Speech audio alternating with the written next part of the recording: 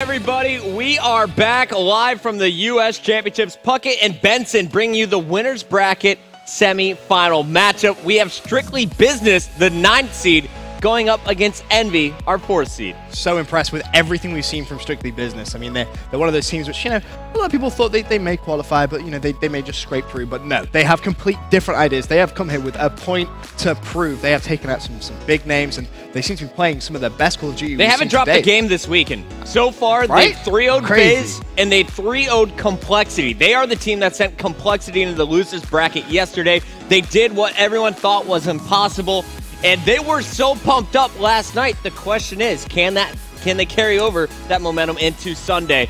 Guys, let's take a look at the winners bracket to catch you up on all of the matches you may have missed in the first round. Of course, you saw SB get the upset over FaZe, moving down the line. Optic Gaming and Envy made it to round two. Rise was a big surprise, taking out Curse Las Vegas, then taking out Justice. Recently, Rise just lost to Team Kaliber, though, as Kaliber 3 0'd Vex, then went on to 3 0 Rise. They will be waiting for the winner of this match, SB versus Envy. Kaliber just showing how consistent they've been in, in recent events. You know, always making it into this kind of stage of the tournament, and you got to give them some serious props. You know, there was. I don't want to say question marks, but you know, Formal still had, you know, people saying, They were "Oh, sold is he-" on him. Yeah, that's the best way of putting it. You know, is he is he really going to be as good? But he's just come here. He's basically said, "All right, you want me to show? You want me to prove to you guys? That's exactly what I'm going to do." And he's done just that. Some fantastic performances from him. And he's just looking very, very strong. That whole TK roster as a whole looking very, very good. But you know, going up against SB and uh, and Team EnVyUs, I, I don't know, man, because SB just look on form. They really do. Apathy. Apathy was the key player when I was watching them last night. They were down 5 2 against Complexity. Apathy got a four piece. He got the ace, followed it up with a three piece. Totally changed the momentum for this squad in that game, too. Then they carried it into Blitz and handed Complexity their first loss in Blitz on land.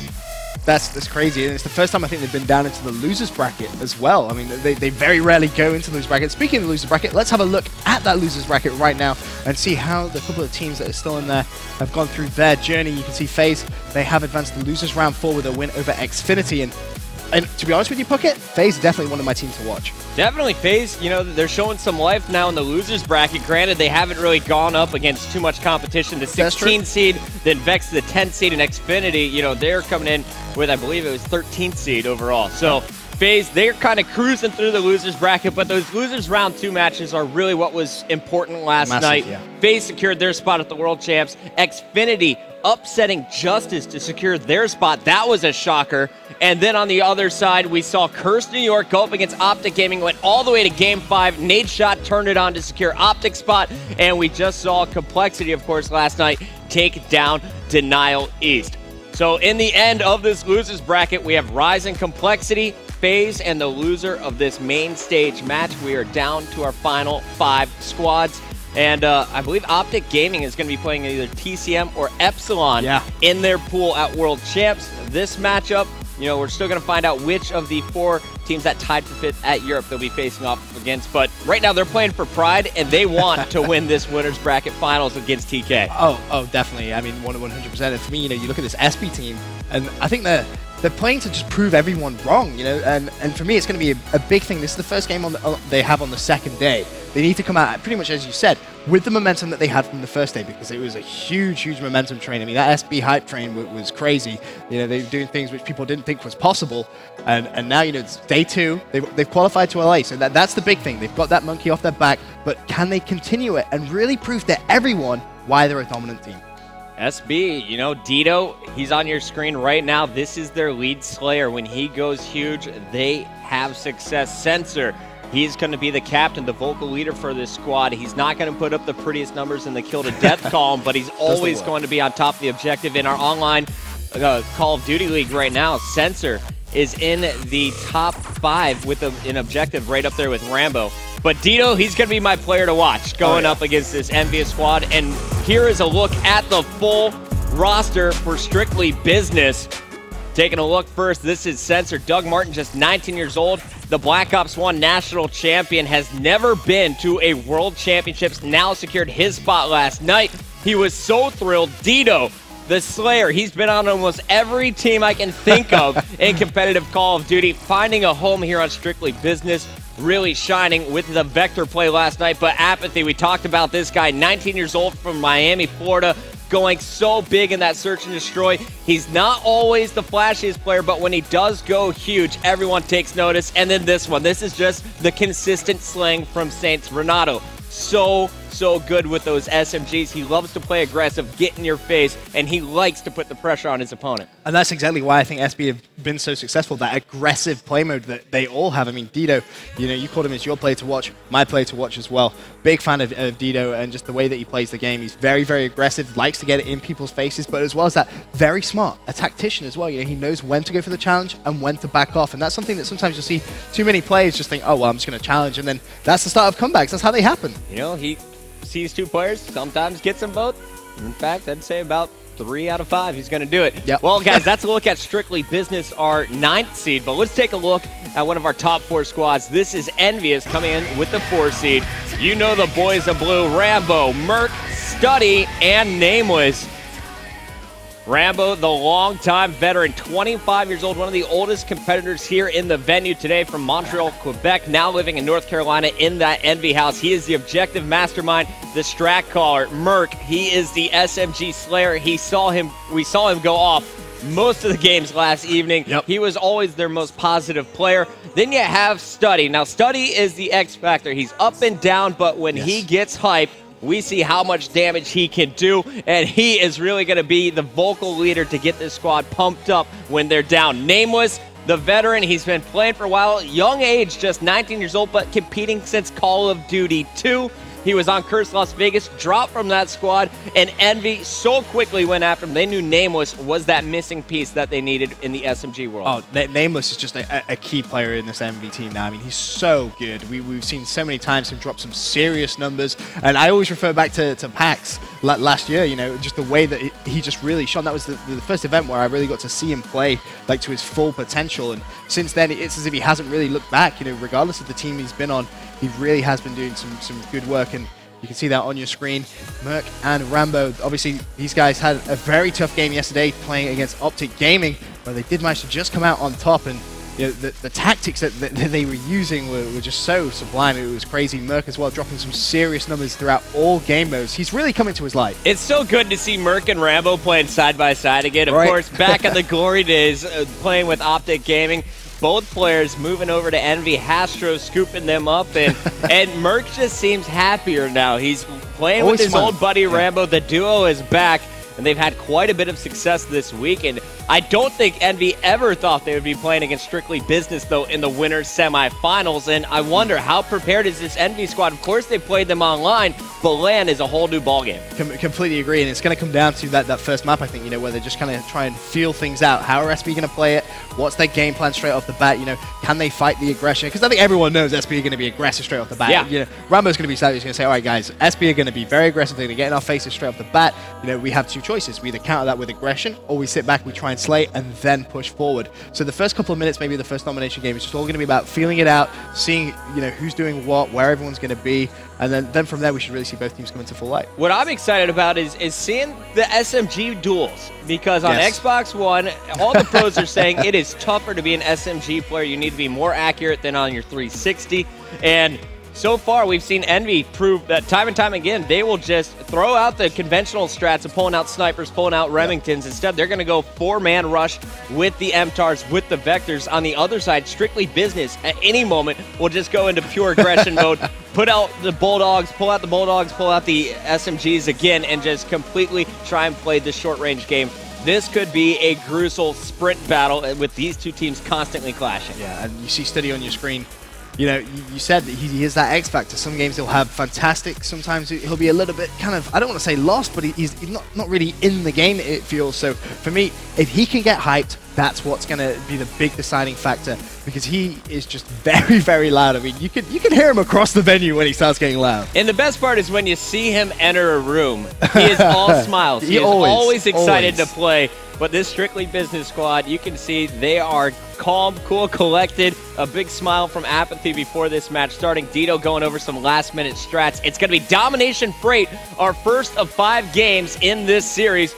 winner will move on to face TK in the winners bracket finals, where they'll secure a spot in the top three. Let's kick this one off with the ninth seed, and I want to see what my boy Apathy is doing. He was really the game changer, the MVP of that Cole series for me.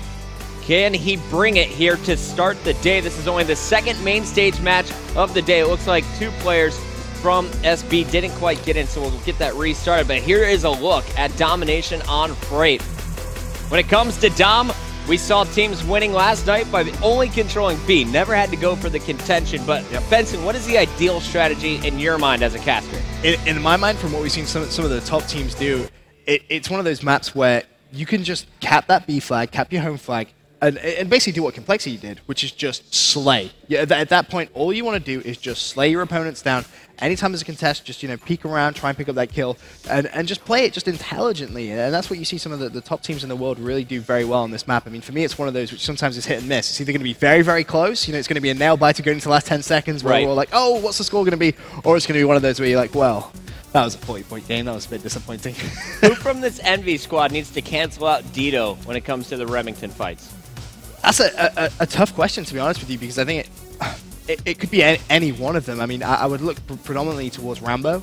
He would be my player that would really try and, and maybe not outshoot him. Yeah, it wouldn't but, be a Remington, but, but, he would try. He would try. He would try sure. the flanks. He, he's always that player which keeps you on your toes. You know, when you're playing against Envy, he's that player that you're constantly saying it. You know, in the listenings, where's Rambo? Where is he? Is Rambo behind us? Is he behind us? Where is he?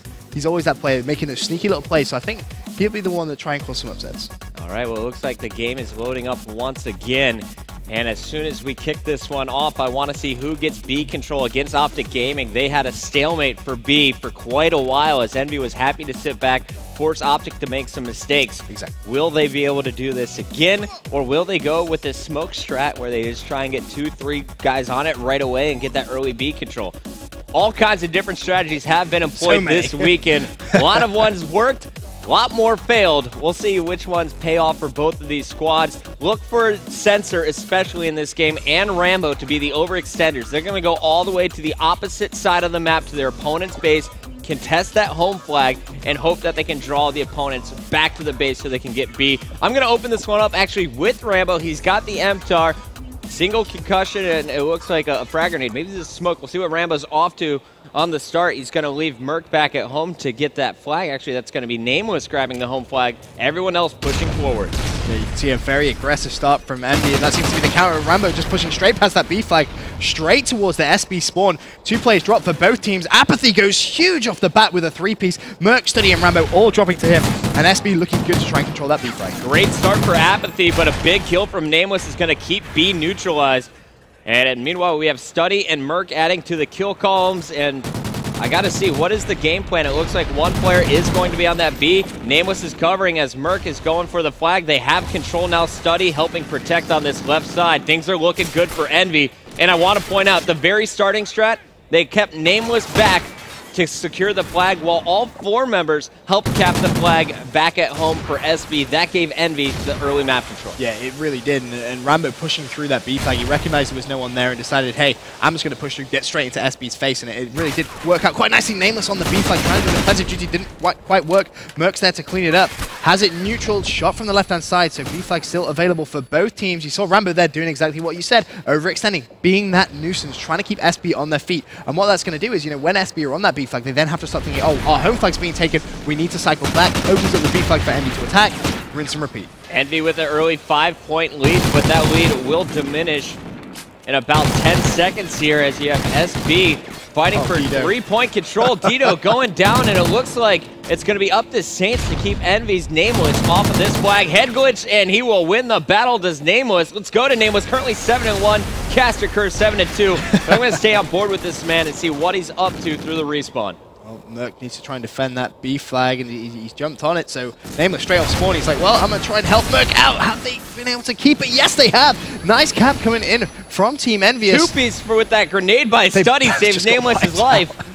Both of them just fell to their death as soon as they turned around that corner. Such a close game as well. It's worth mentioning just one point in it, you know, with, with just under, oh sorry, just over two minutes played so far. Merk having another sensational game. Nameless 8 and 2, stepping up when he needs to. Really good to see.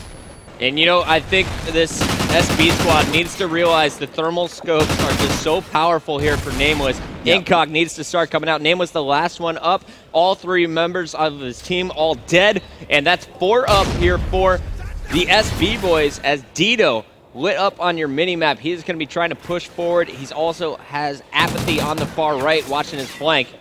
Apathy on a three-point spree. Let's see what he's up to from red. Well, Apathy picks up another kill there.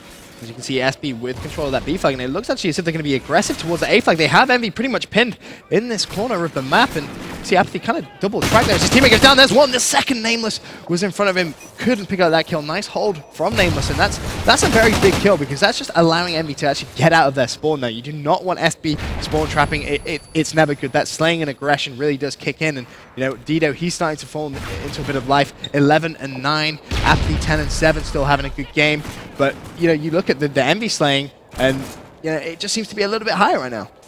I like what Nameless is doing so far in this game. He is 11 and 5. He's been using that thermal scope so well. Rambo continuously trying to over and extend. He is at 5 and 12, being shut down very frequently by this SB squad. They know what Rambo wants to do. They've only allowed him into their base once, but Study on the fast track into the base, gets the knife. Merk adding to the kill column with Rambo, so three down for SB. Study going to be the part of this pushed up player immediately taken out. The big question now is can Envy try and capitalize on that B flag? Nice hold though, coming in from SB, getting three players down, and this now is really where a lead is starting to develop a little bit. You know, 70 points to 58, this is the biggest lead we've seen so far as we go into the last minute of gameplay. And you see Nameless on your screen get taken out. Let's have a look at Merk. Can Envy do one last push on this B flag and just try and reduce this SB lead? Apathy now 15 and 9, 15 and 10 after that death was going for a B all by himself, had no support. And SB needs to get their strategy down, and it looks like that is the plan. They're going to leave two guys to watch back B. Censor spotting one on his way to A, trying to neutralize once again. And look at that scoreboard, a 16-point advantage, make it 17 now for this SB squad. Dito going for B at the end. Final 20 seconds here. Can he stay alive and get the point? Oh, Walked off for just a no. second, and that is going to cost him. Yeah, that was unfortunate. Just tried to stay alive there and actually jumped off the flag by accident. Censor, though, he's going to be there. He has Apathy in support on the B flag. Nades flying across, taking down pretty much everyone there as we go into the last couple of seconds of the game. SB just really turning things up in the last couple of minutes there. 86 to 69 lead. Solid play from both squads. Envy at the start, but more importantly, SB at the end. Dito and Apathy, 15 kills apiece, two captures for Censor and Saints. On the other side, I think the key here is they neutralized Rambo. In fact, yeah. they just made him totally worthless to the squad in Pretty the much. slaying battles, and they cut off all of his sneaky attacks. So yeah, I think we only saw it once, actually. Yeah, one time he got to the opponent's side. That, that, was it. Normally, you know, when you watch Rambo play domination, he's consistently doing it so over if, and again. If you're Rambo and that's your strategy, and your opponent clearly knows what you're trying to do, do you mix it up or do you stay persistent? It's a tough question, and that's why you know it, Rambo's going to have to be the, the guy that makes that that call because it, it, can work one of two ways. He's persistent and it works because SB just have to you know focus on, on different things, or you, you know if it isn't working, you're going to have to try and change things up. There there's equal argument there. So if I'm Ray, I, I, would probably look at trying to change things up at the start and then potentially go back to, to what he was originally trying to do in the second, maybe second couple, second half of the second side. Was it 86 68? 86 It was 86 69, so 17 point lead. 17 point advantage. Guys, we're going to take a one minute commercial break while the players get the second side hosted up. When we return, Envy is going to need to win by 18 or more if they want to take game number one.